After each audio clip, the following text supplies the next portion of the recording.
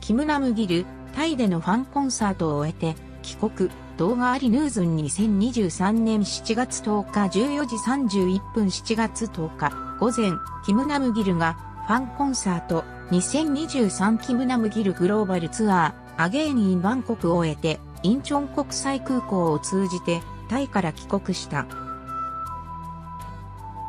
キムナムギル、韓国でのファンコンサートで17曲を熱唱、アイドルのダンスも披露、キムナムギル、日本ファンコンサートで米津玄師宇多田ヒカルの楽曲を披露、いつも温かく迎えてくれてありがとう元記事、配信日時、2023年7月10日14時10分記者、出陣。